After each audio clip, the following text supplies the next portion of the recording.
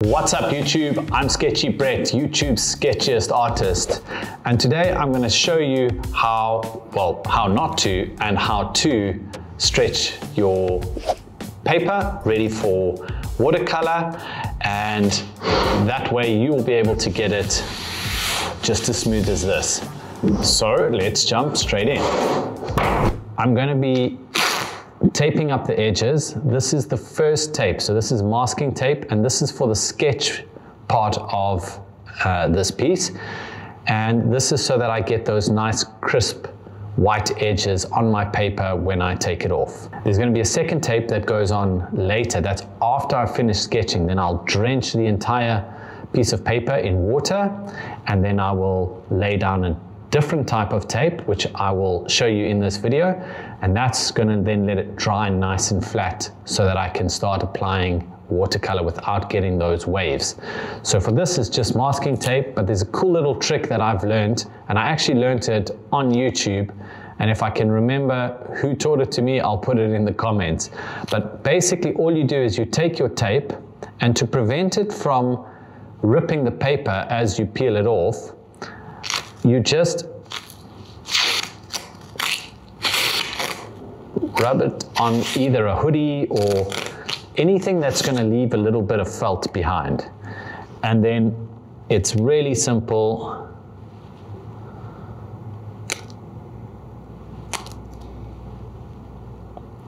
to lay it down and you see now it pulls up nice and easily.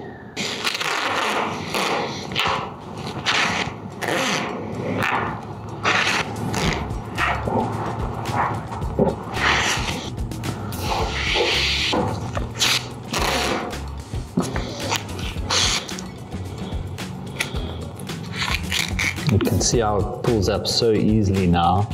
You don't have to worry about ripping the paper. That's something I wish I learned years ago.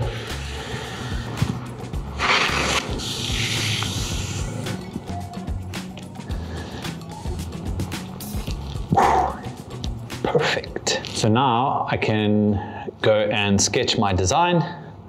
And once the sketch is finished, throw it in the bath, get it sopping wet, lay it down on a board, and then we'll put our water activated tape. And then as that paper dries, it's gonna pull this nice and tight and then I can work with lots of water without getting that rippling effect.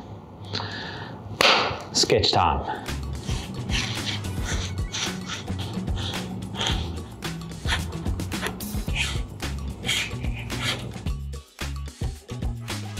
Okay, so I am finished with the sketch now. Now comes to the daunting part for most of you, and that's to stretch the paper. And we're going to be dipping it into this bath of water, completely submerging it. And I know that makes all of you panic. So if you're still worried, all you have to do is take your spray bottle, spray in a corner, and just rub over it and you can see nothing's going to happen. It's so long as you've used a waterproof marker, you're fine. So don't panic. That's the first part. The next part is to get some of this tape. It's not sticky at all until it gets wet. So um, what you want to do here is roll them out. So you want to be prepared. So we go just over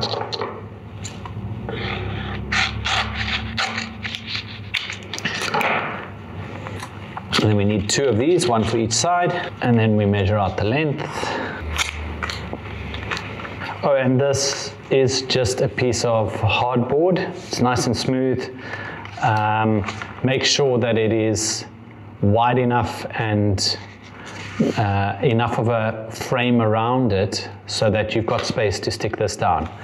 And the other thing to remember is where you stick this tape, you're going to cut inside of that. So this doesn't come off. This is going to rip your paper. So that's why we've put this frame. So we're going to get a nice edge, but we've put it wide enough that we can still put this tape down to stretch our paper um, and still have enough space to, because we're going to cut on the inside of that. So when this is laid like this, when we want to release this, once we're finished, we're going to take a blade and we're going to cut that. Then we'll peel off this masking tape and that'll give us our edge, but we are going to lose some of the paper. So just bear that in mind when you're planning your piece. Okay, what are these? These are my widths. Keep my widths about me. That lame. that was a good joke. Move your roll away from your tub because otherwise you're just going to end up with a solid block. And then the other thing is just do one little corner like that, not all the way across, otherwise it's gonna, you're going to battle to peel it back, but then it doesn't run. Even that's a bit close for comfort. Mm, okay. Here we go.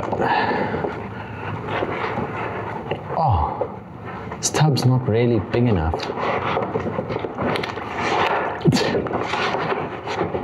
It's fine, we'll get it wet. Ooh. It's the biggest one I could find.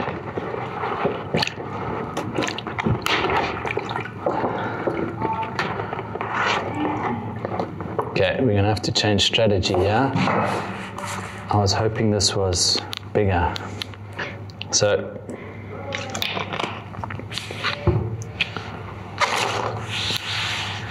lots of water, and we want all the the fibers to relax and stretch out so that when we tape it down, it's at its most relaxed. And then when it dries out again, it's going to pull all of this really nice and tight. So take your time.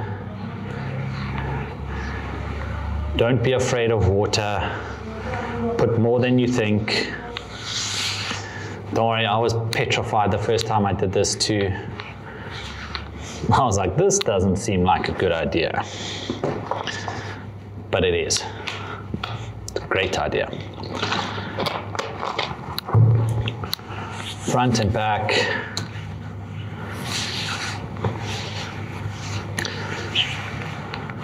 Now we don't want it to be soggy, but we do want it to be wet.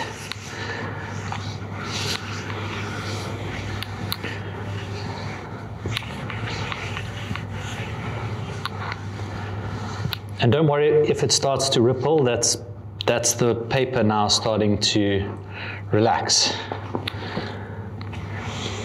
That's kind of the point.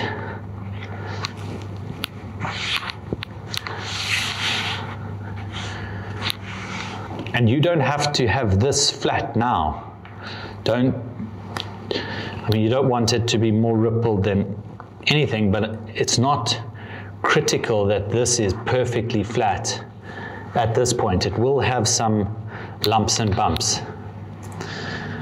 Now this tape, same thing, we run it through the water and then it'll get a bit slimy underneath.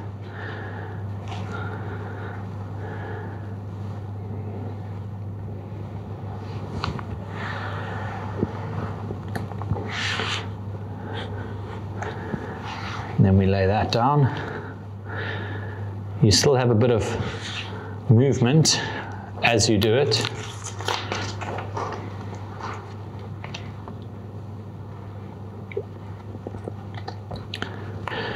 If you're starting top and bottom, do top and bottom, then side and side.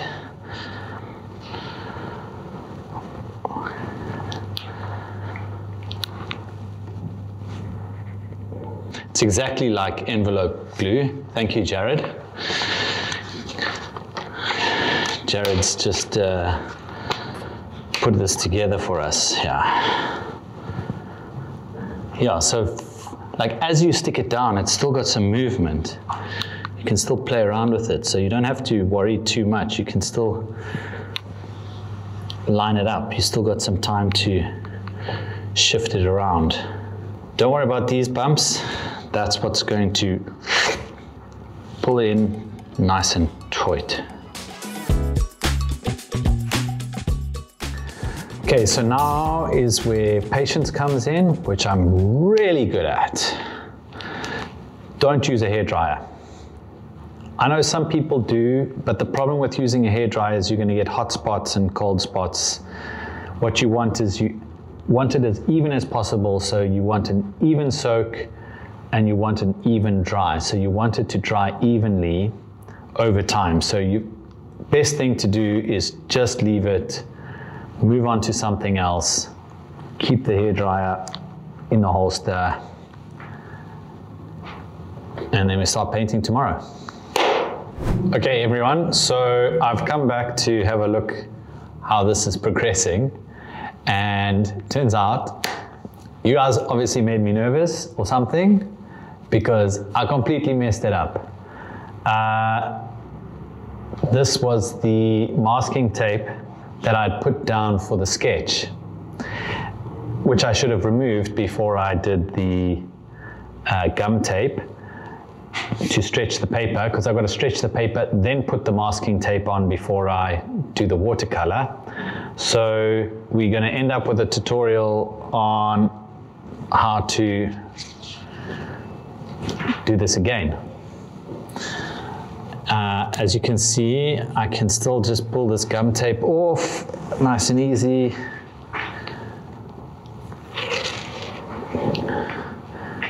But the problem is, is that this masking tape is going to affect how the paper relaxes and dries. So I've got to pull this off. The paper is a bit damp now, so I'm being a little bit careful with this.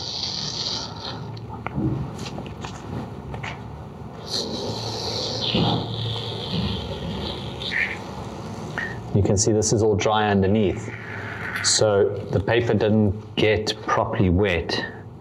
So I'm glad I realized when I did.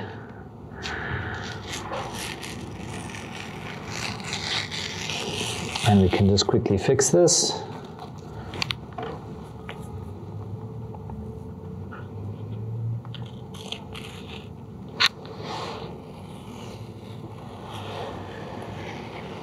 So if you've used the masking tape for your sketch, you remove that first, then you stretch your paper, then you put masking tape after it's dried, after you've stretched it, we'll do that before we start our watercolor so that we still get that nice crisp white edge. So we're just going to add some more water again. It's already quite wet, yeah, so we don't have to overdo it. We're just re-wetting.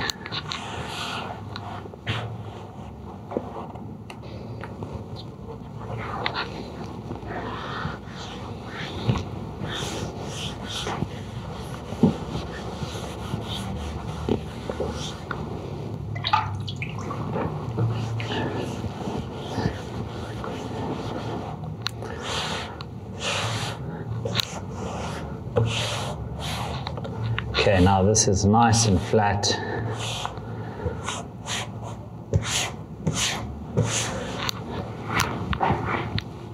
Always wipe it on your jeans.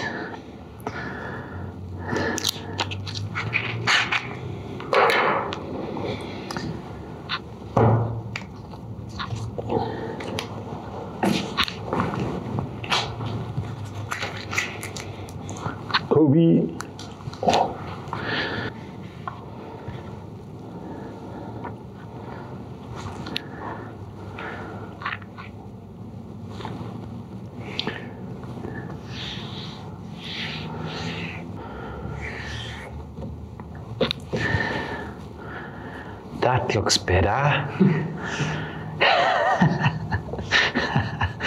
oh, let's do a video on it. Mess it up. Brilliant. But actually, it's good.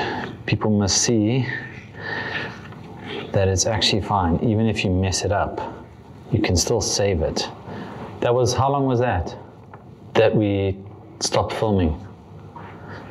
An hour? Mm, sure. Two hours ago? So I only realized two hours later. And we could still save it.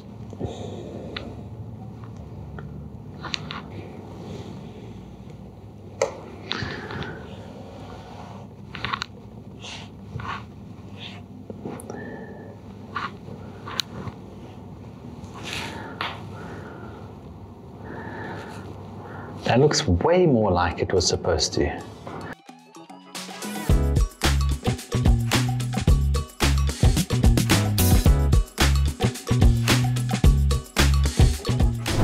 Right, so we're back in studio this morning, and as you can see, this paper has dried completely, and it's now smoother than a Cuban salsa dancer. Is that a good one? So it's actually that easy to stretch your paper ready for watercolor. It's just a little bit daunting. Move past it, don't worry yourself over getting everything wet. Test it if you are a bit nervous. Um, but give it a go. It's definitely worth it because now I can wet this paper again while I'm putting on my watercolor. It will ripple again and it'll tie back perfectly straight. So give it a go. If you're not ready to do that just yet, or if you have already stretched your paper, I've put two videos here that I think are gonna really help you. And until next week, keep it sketchy.